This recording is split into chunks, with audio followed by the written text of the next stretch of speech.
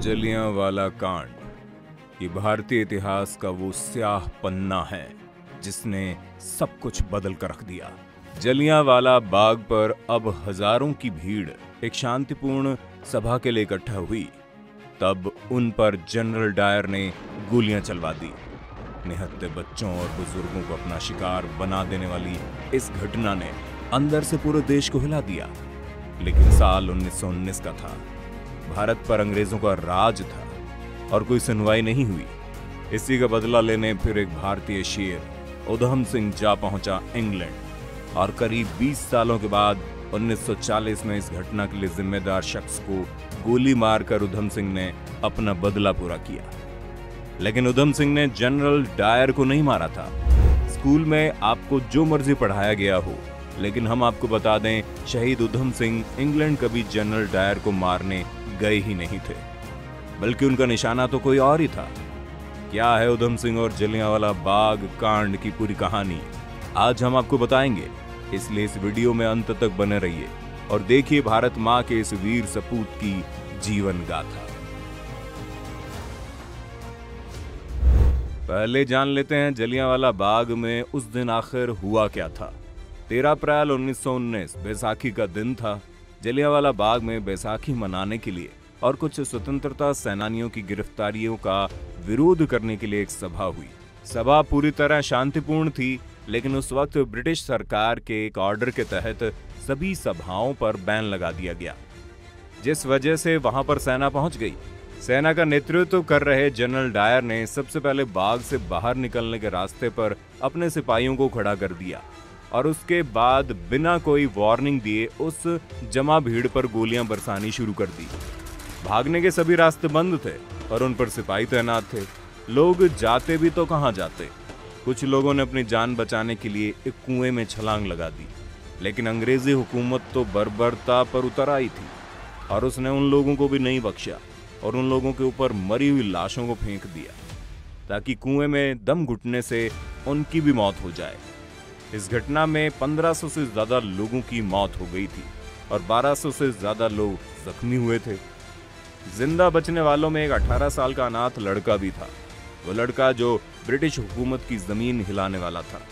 वो लड़का जो अंग्रेज़ों के घर में घुसकर इस बर्बरता का बदला लेने वाला था। वो लड़का जिसका नाम भारत के लोगों ने भुला दिया, शहीद उधम सिंह। उधम सिंह ने ये सब अपनी आँखों से देखा था।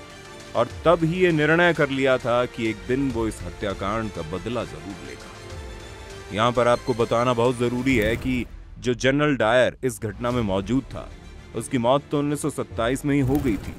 लेकिन जिस डायर को उधम सिंह ने मारा था, वो जनरल डायर नहीं था, बल्कि उस वक्त पंजाब के लेफ्टिनेंट गवर्नर की पोस्ट पर तैनात मिचैल ओ. डायर। मिचैल और डायर के इशारे पर ही जनरल डायर को इन लोगों पर गोली चलाने के लिए कहा गया था। दोनों डायर में थोड़ा सा फ़र्क समझ लीजिए।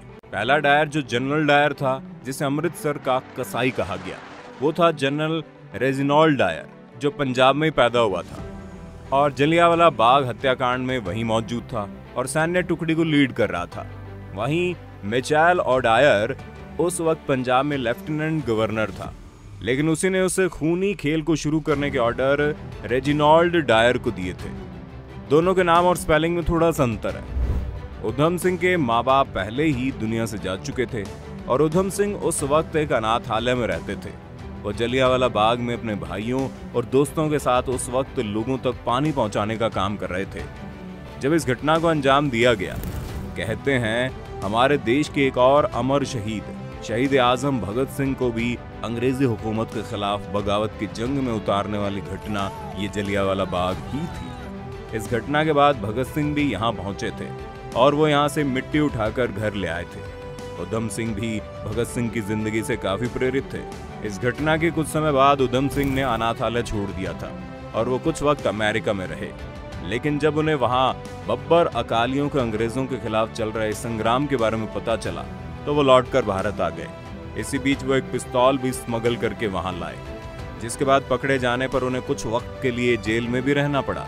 लेकिन उधम सिंह का मकसद हमेशा से साफ़ था, बदला। 1940 आते आते डायर रिटायर हो चुके थे और भारत छोड़कर वापस इंग्लैंड लौट गए थे। उधम सिंह भी इस हत्याकांड का बदला लेने के लिए इंग्लैंड पहुँच गए, पर रास्ता इतना आसान नहीं था और डायर तक पहुँचना कोई आसान काम तो था नहीं, इसलिए उन्हें इसके लिए काफ़ी लंबा इंतज़ार करना पड़ा। काफ़ी वक्त तक वो वहाँ रहे और एक दिन उन्हें खबर मिली कि एयर ईस्ट इंडिया एसोसिएशन द्वारा आयोजित एक मीटिंग में स्पीच देने के लिए शरीक वो होने वाले हैं। यहाँ पर ब्रिटिश तंत्र के कई और ज़रूरी लोगों का भी जमा होना संभावित था। इसलिए 13 मार्च 1940 को उधम सिंह अच्छे से एक अंग्रेज़ की तरह कपड़े पहने हुए वेस्ट मिनिस्टर के कैक्सटोन हॉल पहुँच गए, जहाँ पर ये मीटिंग होने वाली थी। हॉल में जाने से पहले उन्होंने अपनी रिवॉल्वर एक किताब के अंदर छुपा ली थी और वो उसे अंदर ले जाने में कामयाब रहे। जब वहाँ डायर के स्पीच की बारी आई तो डायर उठकर स्टेज पर जा ही रहा था कि तभी उधम सिंह ने एक के बाद एक छह गोलियाँ चलाई, जिनमें से दो गोलियाँ डायर को लगी और एक तो उसके दिल के आर पार हो गई, जिसकी वजह से इसकी मौके पर ही मौत हो गई। इस गोलीकांड में कई और ब्रिटिश अधिकारियों और राजनेताओं को भी कई चोटें आई और उसके बाद भीड़ की नज़र गर्व से फूले उधम सिंह पर पड़ी।